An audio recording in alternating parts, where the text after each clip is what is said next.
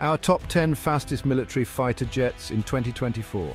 With the SR-71 long retired and the X-15 having stopped flying during the 1960s, the quickest aircraft flying today are fighter jets. But which fighter aircraft is the fastest? Let's find out. But first, let's take a brief look at what is meant when we refer to the speed of an aircraft. We'll be talking a lot about Mach numbers, which represent multiples of the speed of sound. But the speed of sound isn't constant. It changes with air density and temperature. So a plane flying at Mach 2 at high altitude is going much faster than a plane flying at Mach 2 at sea level. The speeds reported in this list have usually been achieved during test flights involving special test aircraft in clean configurations, meaning they're carrying no weapons or external fuel tanks. These tests show what the aircraft is capable of. However, in their day-to-day -day operations, the jets tend to fly significantly slower. We'll try to mention typical operating speeds when we can, but remember these are all theoretical maximums. At the top, at one of the fastest fighters there is the Mikoyan Gurevich MiG-25 Foxbat. Designed in the late 1960s, the MiG-25 was the most feared fighter jet of the Cold War. NATO called it Foxbat. It led to the development of the F-15 Eagle. The MiG-25 was a high-altitude interceptor. It was designed for speed, breaking numerous records. One MiG-25 still holds the altitude record for a jet-powered aircraft. Today, it's officially in the arsenal of only Syria. The MiG-25 remains the world's fastest fighter jet, at least on paper. In at number two, there is the Mikoyan Gurevich MiG-31 Foxhound. The MiG-31, codenamed Foxhound by NATO, was based on the legendary MiG-25. It has superior sensors, electronics and armament. It's a true modernization of the MiG-25's design. Can reach Mach 1.25 at sea level.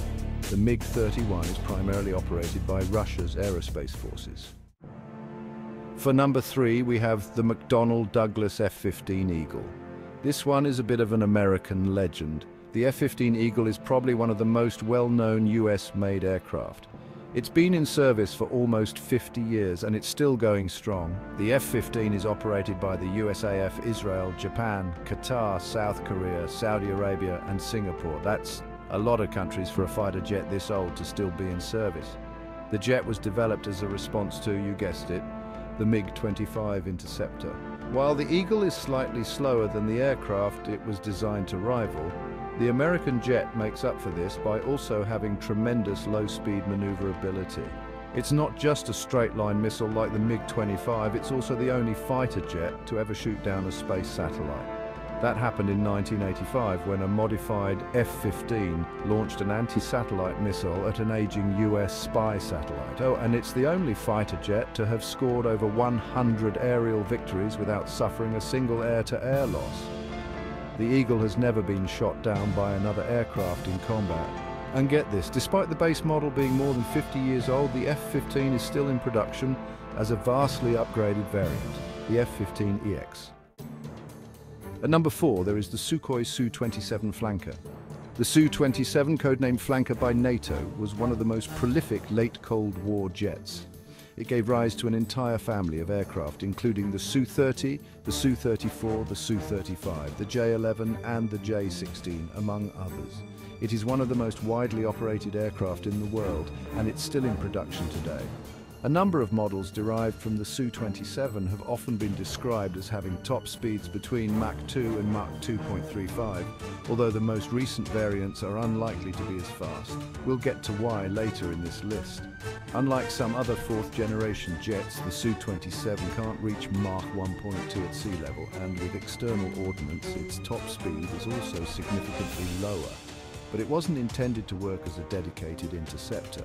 It was designed to be a multi-role fighter, and high speeds at high altitude are more of a byproduct of the powerful engines that allow it to carry a lot of weapons and accelerate quickly.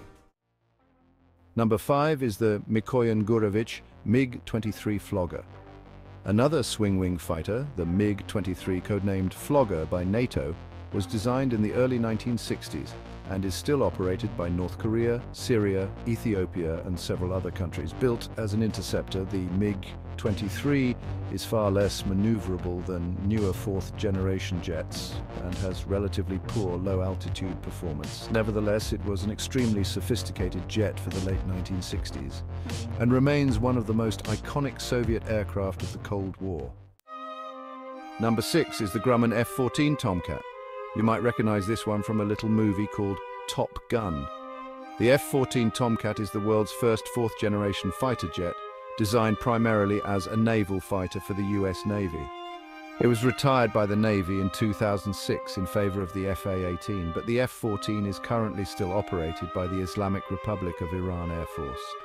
Some reports suggest a clean F-14 could reach an even higher speed of Mach 2.5, although this claim has not been confirmed. At number 7 is the Mikoyan Gurevich MiG-29 Fulcrum. Designed in the Soviet Union as a lighter counterpart to the Sukhoi Su-27 and a response to the F-16, the MiG-29, codenamed Fulcrum by NATO, has been widely exported and is currently in the inventory of Russia, Ukraine, North Korea, Poland, India and many other countries.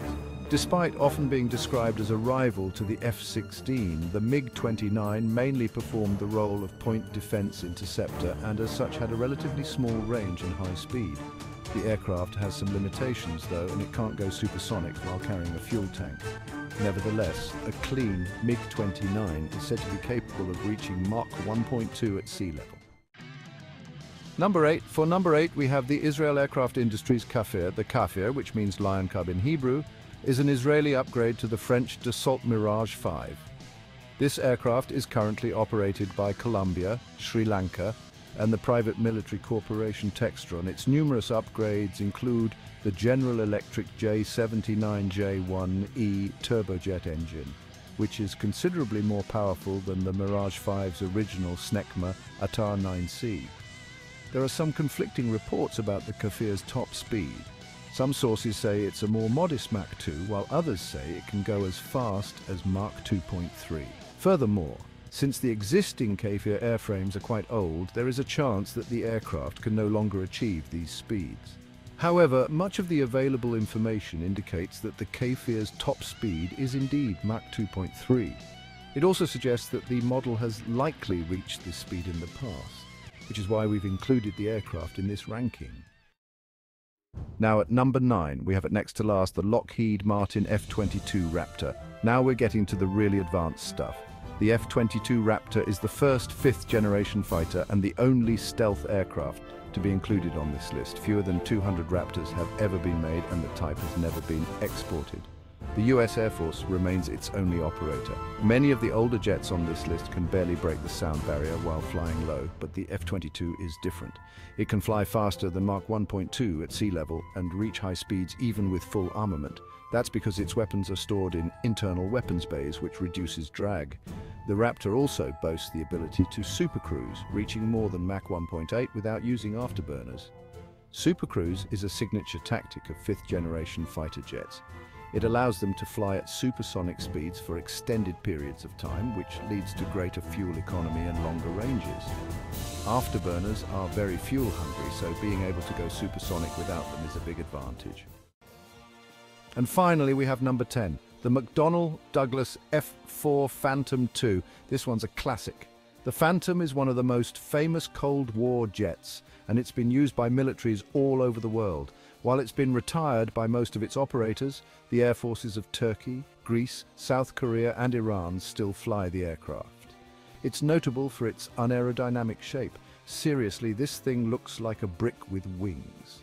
But the F4 can reach incredibly high speeds thanks to the raw power of its General Electric J79 engines, leading to a saying popular among phantom pilots and fans alike. A brick can fly if you stick a big enough engine on it.